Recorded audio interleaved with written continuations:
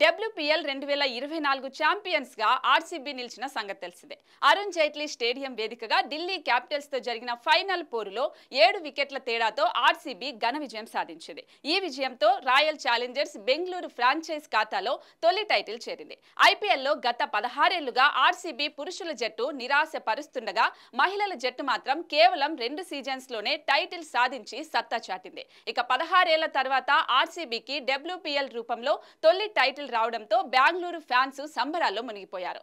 సచిన్ టెండూల్కర్ విరాట్ కోహ్లీ వంటి దిగ్గజ క్రికెటర్లు ఆర్సీబీ మహిళల జట్టును అభినందించారు. ఇక ఈ మ్యాచ్లో RCB captain Smriti Mandhana boyfriend Smriti Palash Muchhal సందడి చేశాడు మ్యాచ్ జరుగుతుండగా ఆర్సీబీకి సపోర్ట్ చేస్తూ పలాష్ కనిపించాడు. అదే విధంగా విజయ అనంతరం స్మృతి పలాష్ ముచ్చల్తో కలిసి ట్రోఫీతో ఫోటోలకు ఫోజులిచ్చింది. ఇందుకు సంబంధించిన ఫోటోలు సోషల్ మీడియాలో వైరల్గా మారాయి. కాగా రెండు వేల ఇరవై మూడులో చైనాలోని హాంగ్ జౌలో జరిగిన ఆసియా క్రీడల్లో భారత మహిళల జట్టు స్వర్ణం గెలిచినప్పుడు కూడా పలాష్ స్మృతితో ఫోజులిచ్చింది.